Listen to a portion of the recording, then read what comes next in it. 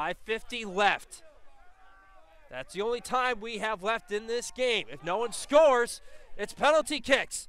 The long strike scores! A sensational rocket from Drew Goulart. With and Puzzo on third and three goes far down the sideline, and he's got Chauffeur who stays in bounds.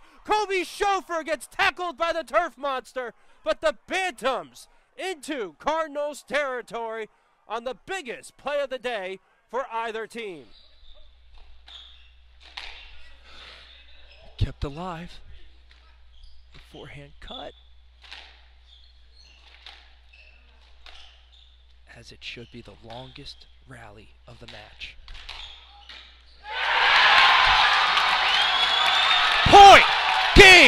Match! Michael Craig!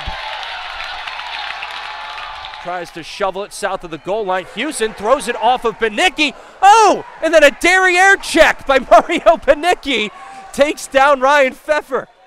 The largest lead of the game for either side was the Mules at 53 to 46. Now, though, it's 53 51.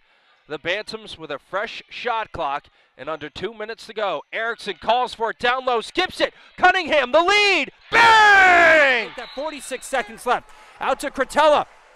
Back to McCool. Italiano! Oh, what a glove save by Alex Morin! We've had two matches thus far. They went to five games. We're one point away from making it three for three.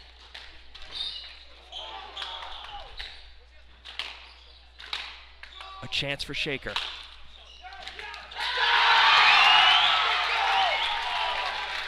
As the Pride are in a 2-3 zone. Down low for Marinder. Marinder kicks it out. Parizzi for the lead. Buries it! Christian Parizzi puts the Bantams up 61-60. Down hard, but she takes the hit to get the puck deep. Oganeku spins. One-timer! Taylor Paracchio puts it in! 6.03 to go in the fourth quarter. Bantams up by 18. Fourth and six. Piccarello. Quick pass. Intercepted! Dominique Seagears! There he goes! The second touchdown return of the season for Dominique Seagears.